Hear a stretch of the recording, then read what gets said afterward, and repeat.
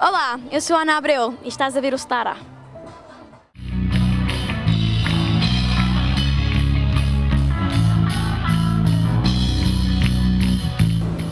Tervetuloa Staran pariin ja Tammerfest Day 2 eli toinen päivä. Torstaita hengaillaan täällä Päkkärillä Vuolteen torilla ja nyt löytyy hetken päästä lavalle nousevan Sturm und Drang bändin jäbät täältä. Moi, ketä täältä löytyy?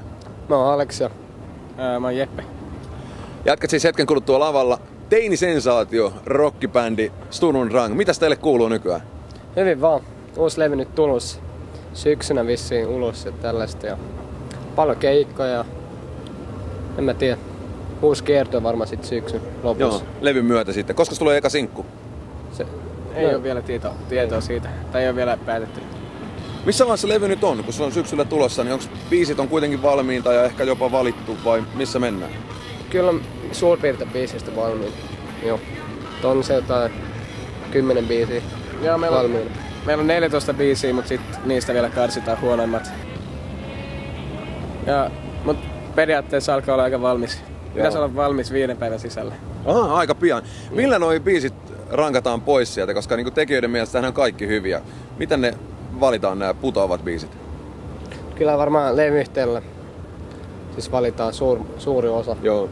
Kyllä melkein on sanottavaa si- siitä, mutta emme tiedä. Katsotaan nyt. Niin. Me nähtiin edellisen kerran silloin, kun jätkät oli aivan tuore homma. Tai siis totta kai te olitte jo treenannut keskenään pitkään ja muuta. Ihan ensimmäisillä keikoilla Vaasassa nähtiin joskus miljoona vuotta sitten. Silloin sanoit, että te kaadatte festareilla kaikki naiset. Onko näin käynyt? Ei vielä. No, se eh- ehtii tehdä sellaistakin vielä Maybe myöhemmin. niin.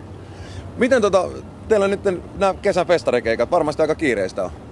Ei nyt niin kiireistä. Ei nyt on niinku viikonloppusi. Joo. Mut Eniten kyllä- viikonloput keikkoja. Et Kyllä, kyllä löytyy viiko, viikollakin niinku jotain keikkoja. Niin kuin nyt. Teillä on kuitenkin tässä te eka levyn myötä tullut aika massiivisiakin keikkoja. Muun muassa Sweden Rockissa taisitte käydä. Oliko tämä Dio siellä teidän messissä? Eiku se Uudo tosta Acceptista. Joo. Kyllä Dio kanssa soitti siellä, siellä oli paljon staroja. Mut Ei me kyllä ketään tavattu.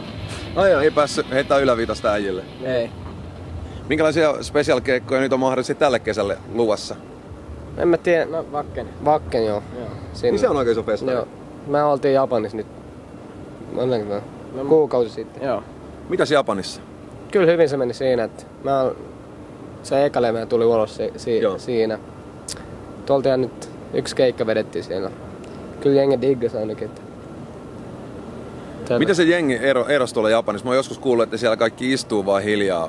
Pitääkö se paikkansa? Se oli suunnilleen silleen, että ne tuli suoraan toimistolta sinne ja heitti hienot takit narikkaan ja sitten ne tuli sinne ja hevaili ja moshas. No, japanilaiset tunnetaan aika sääntillisinä ja jäbinen. Oliko siellä niinku pitkä tukkia messissä myöskin, että joka heilutti sitten lavan edessä? Oli Oli pari, niitä pari niitä mun mielestä. Mitäs teidän vapaa-aikaan kuuluu? Te normaalisti totta kai kaikki käytte vielä koulua, sillä talviaikaa ja muuta, ja sitten keikkailu on ehkä vähän vaikea siihen sovittaa. Mutta nyt kesällä, kun koulut on lomilla ja muuta, niin mitä te puuhailette silloin, kun ei ole bändikeikkaa? No, en mä nyt tiedä. Hengällä vaan ja tällaista. Normaali juttu. Joo. Vaasan suunnilla. Kyllä. Joo. Mahtavaa. Kertokaa vielä terveiset tonne, sellaiset terveiset, että mitä te Tammerfestissä suosittelisitte ihmisille? The Foberit. Mitä meidän pitää suositella? Joku bändi, joku paikka, mihin kannattaa mennä?